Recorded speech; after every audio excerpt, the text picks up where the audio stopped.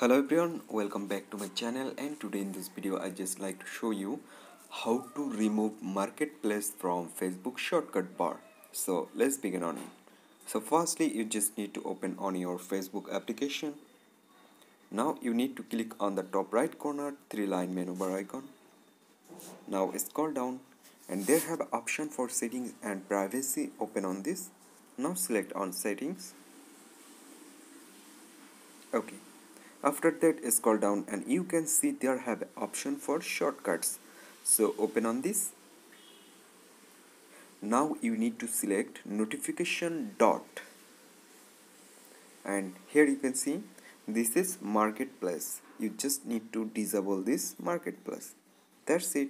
And now you already removed marketplace from facebook shortcut bar so i hope you can understand and hope guys this video can help you.